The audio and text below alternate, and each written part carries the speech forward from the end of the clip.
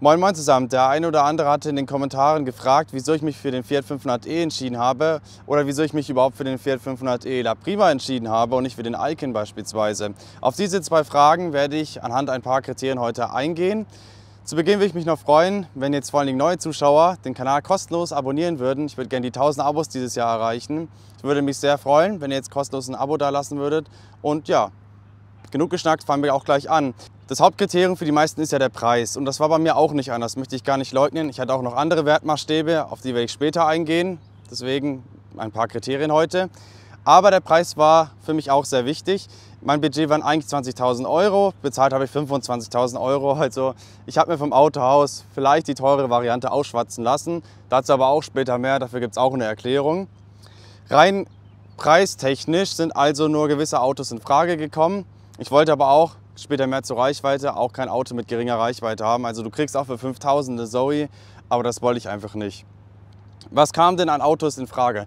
Fangen wir gleich mal an mit der engeren Auswahl. In der engeren Auswahl war der Fiat 500e und der ID3 Pure, also die günstigste Variante, die man mittlerweile gar nicht mehr bestellen kann bei VW. Dann der Corsa E, der E-Peugeot 208, das ist ja das Schwestermodell zum Corsa E, der Mini Cooper SE, die Renault Zoe und der Honda E.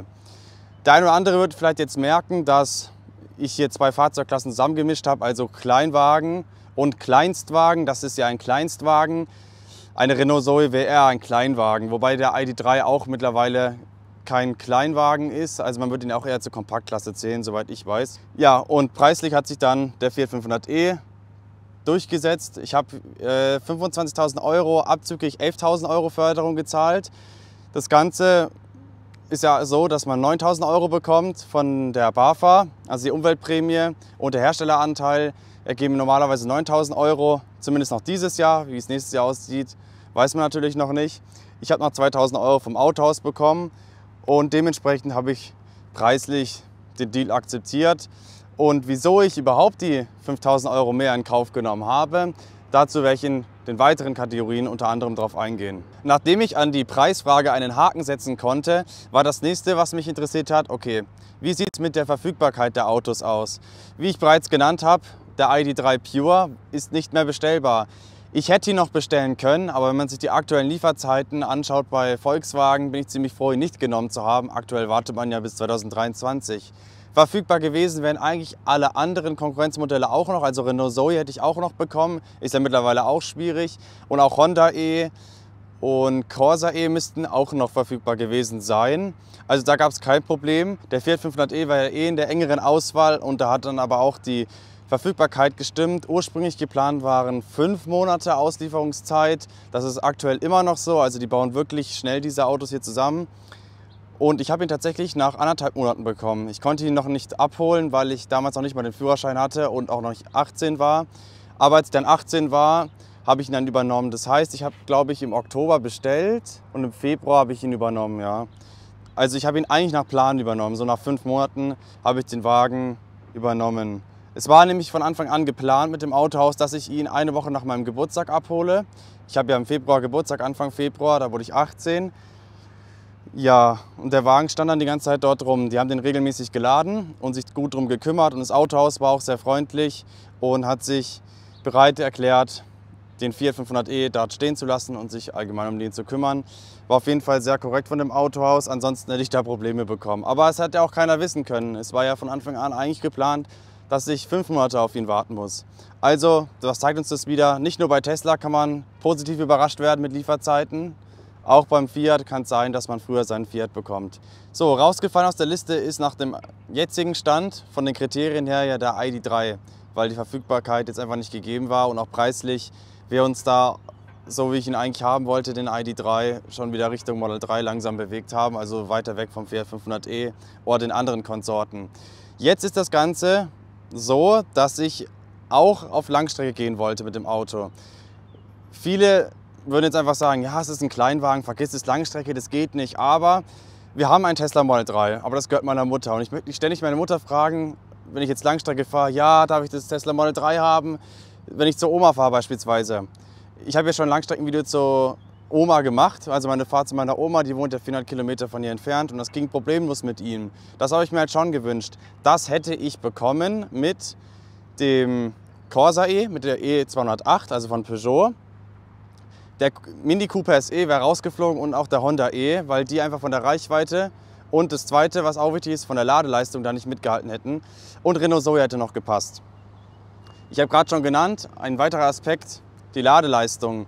Die habe ich jetzt zusammen in den Punkt mit der Reichweite gepackt. Das ist für mich so ein, ja, die hängen ein bisschen zusammen, die ganzen Aspekte, weil was bringt dir die Reichweite, wenn du eine scheiß Ladeleistung hast?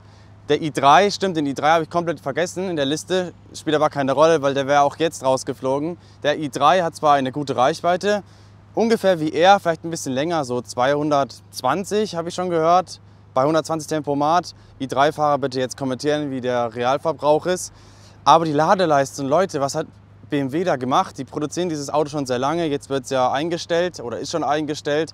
Aber die Ladeleistung ist echt nicht mehr zeitgemäß. Also 50 Kilowattstunden schafft das Auto ja maximal am CCS. Und ich habe gehört, das schafft er auch wirklich nie in Praxis. Das ist wirklich schon wirklich schlecht für die Langstrecke wenn man überlegt, der Fiat 500e schafft 85 kW, da musste ich gar nicht überlegen, den Punkt hat er auf jeden Fall gewonnen. Mehr hätte eigentlich nur der Corsa E geschafft oder der E208 mit 100 kW. Den Corsa E habe ich übrigens auch schon getestet, einfach mal in die Infobox klicken, findet ihr jetzt verlinkt.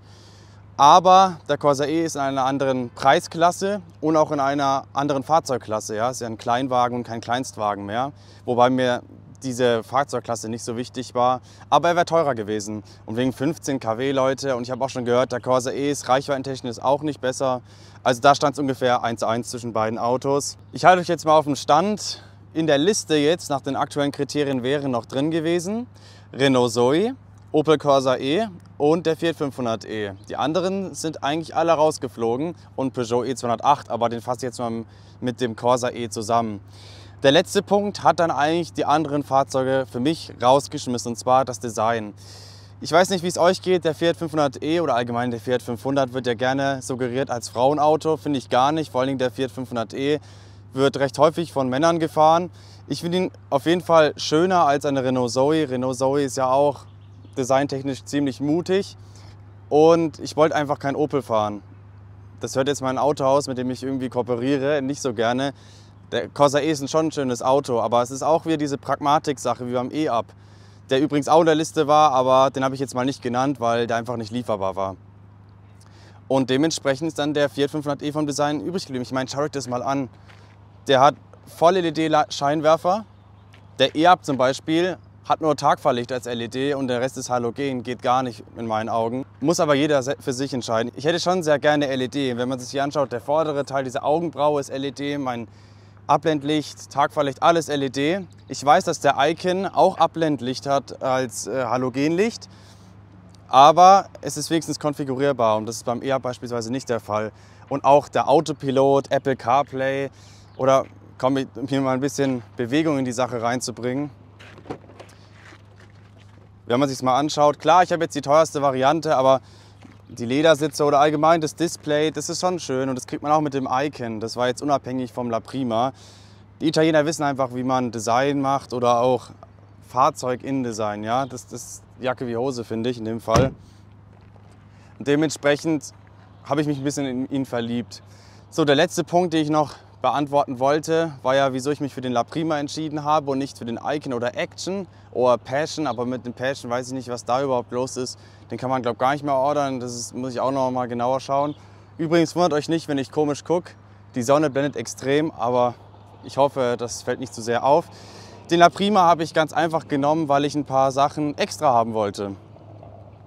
Es ist ja so, also der Action ist von Grund auf rausgeflogen. Mein Autohaus hat mir den Action nicht empfohlen und ich selber wollte ihn auch nicht haben, weil er hat das kleine Display und vor allem die Reichweite. Er hat ja die kleinere Batterie, die schlechtere Ladeleistung, also 50 Kilowattstunden Ladeleistung, 190 Kilometer Reichweite, soweit ich weiß, WLTP. Wenn das falsch ist, dann schreibe ich jetzt hier in Text, aber das müsste eigentlich schon ziemlich richtig sein. Ja, und da war ich zwischen Icon und La Prima und ja, eigentlich wollte ich immer den Icon haben, weil ich wollte mir eigentlich das Geld sparen. Ich habe mir immer gedacht, ja, Hauptsache elektrisch, das ist die Hauptsache und diese kleinen Extrafunktionen brauchst du einfach nicht. So denken ja auch viele, ist vollkommen in Ordnung. Dann war es aber so, dann fing es an. Ich wollte gerne ein Glasdach haben, weil, gut, meine Mutter hatte ein Cabrio damals, aber ich kannte den Fiat 500 aus dem Urlaub bereits von Mallorca. Da habe ich übrigens auch mal ein Ladesäulen-Video gemacht, auch jetzt in der Infobox verlinkt da hat, also dieser Fiat 500 hatte ein Panoramadach und da habe ich mich ziemlich verliebt rein, optisch in dieses äh, Panoramadach. Und es macht auch den Raum, vielleicht kann man das jetzt sehen, also das Dach ist normalerweise viel tiefer. Kannst vielleicht, vielleicht sieht man das.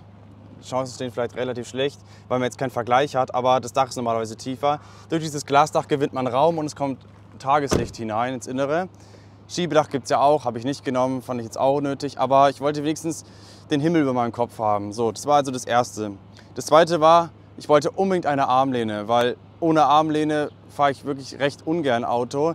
Und ich habe mich sehr gefreut, dass der Fiat 500e das jetzt mittlerweile hat. Der alte 500 Verbrenner hat das ja nicht.